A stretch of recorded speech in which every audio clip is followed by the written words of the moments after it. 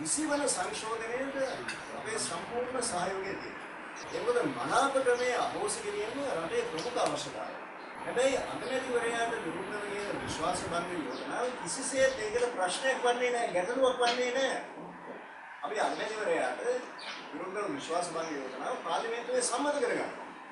දැනටම අක්ෂර 85 ගණන් ඒකට ලැබිලා තියෙනවා. ඒක සම්මත කරගෙන ඊට පස්සේ මොකද වෙන්නේ? අපේ ආණ්ඩුව ව්‍යවස්ථාවේ යටතේ ජනාධිපතිවරයාට අධිකරු ජනාධිපතිවරයාට තිබෙන ව්‍යවස්ථානුකූල වගකීම තමයි පාර්ලිමේන්තුවේ බහුතරයක සහයෝගය තිබෙන පුද්ගලයෙකු අගමැති හැටියට පත් කරන්නේ. දැන් කියන්නේ හරි පුදුමයි ආණ්ඩුවක් නේ. ඒක සුළු කර ආණ්ඩුවක්.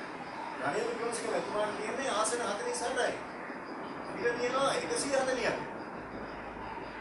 ඒ තත්ත්වය වෙනස් කරලා පාර්ලිමේන්තුවේ බහුතරයක විශ්වාසය තිබෙන අගමැතිවරයෙක් පත් කිරීම අධිකරු ජනාධිපතිතුමාගේ විවස්ථානුකූල වගකීමක්. ඉතින් එවන් අගමැතිවරයෙක් පත් කරනවා.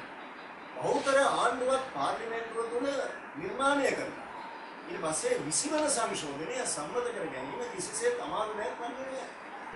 දැන් අඳුන මහේන්ද්‍රන් මැතිතුමා මෙහෙම කියලා දැන් කියාගෙන යනවා ශ්‍රේෂ්ඨ අධිකරණය එතුමාව විනාශ කරා. නිදොස්කි. ඒ සම්පූර්ණයෙන් වැරදි. ශ්‍රේෂ්ඨ අධිකරණයේ කිසිම අවස්ථාවකදී එතුමා දෝෂයෙන් තොරයි මේකේ වංචාවක් සිදුුනේ නැහැ කියලා ප්‍රකාශයක් කළේ නැහැ. ඒ නඩුව මානව අයිතිවාසිකම් උල්ලංඝනය කිරීම සම්බන්ධයෙන් කවුරුත් නඩුවක්. අපි නෙමෙයි මේ නඩුව පැවරුවේ. වෙන කණ්ඩායම.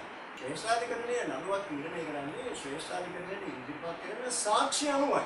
ළඟට තිබිච්ච සාක්ෂි ඉදිරිපත් කරන්න අපිට අවස්ථාවක් තිබුණේ අපි නෙමෙයි නඩුව දැම්මේ.